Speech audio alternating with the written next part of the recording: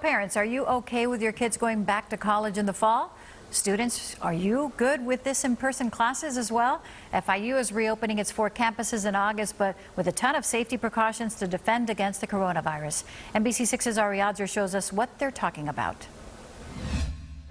The main campus is a lonely place now, but that will change on August 24th when the fall semester begins. So are students comfortable coming back? As long as they keep the six feet in between each other, I'm not sure if that's maybe like 10 kids a class or if they switch to remote. A lot of my classes are remote now, so that's also a really good alternative. And we will make every effort to ensure that we're maximizing the learning experience, but also maximizing the safety to the students.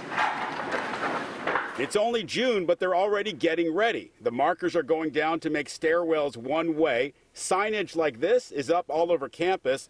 Hand sanitizer is everywhere. This is the new COVID shielded FIU. Senior Lauren Christie told us she won't let the pandemic spoil her last year of college. We can only adapt to what they tell us. So whether it's online or it's in person, um, as long as I'm getting the education and like I'm actually able to understand it, then uh, that's all that matters to me. So in a typical classroom, it'd be about one third of the capacity. In some classrooms, it's only about 15% of the capacity of the students, so that they'll be separated by six feet. Here's a stark illustration of what social distancing does to classroom capacity. This is the law school auditorium. It went from being able to seat 283 people down to 47.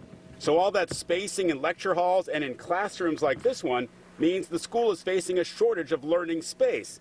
Provost Ken Furton told us students living on campus will be tested for coronavirus multiple times. I understand the concern parents would have about their uh, children coming uh, to the back to the university. I can just assure them that we have a very carefully thought out, deliberate, science-based plan, and it's a very flexible plan. So we will be doing monitoring if we are able to move back into a remote instruction if need be. They're trying to give students a college experience safely knowing something is better than nothing.